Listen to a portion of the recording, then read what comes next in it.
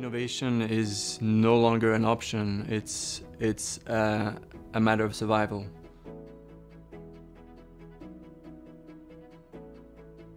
You interact with people, you create a culture, you use tools that put you in a, in a, in a mindset in an operating mode so that you can be innovative, so that you can solve those big challenging problems.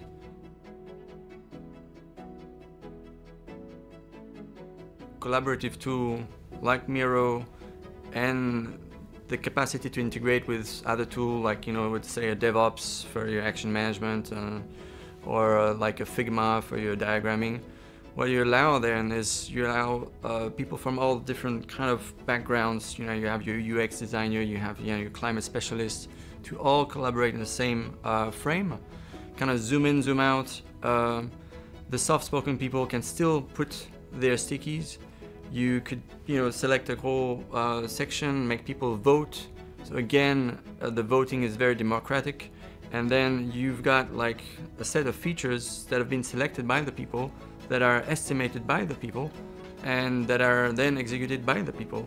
So yeah, there's not much more collaborative than that, to be honest.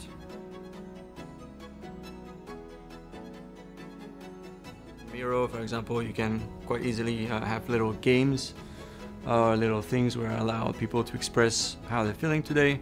And just talking about it sometimes it makes a huge difference. Uh, and it makes people feel like they're heard. Uh, that they're human again. They're not just a little blip, not just a little cursor, uh, not just a little, you know, image.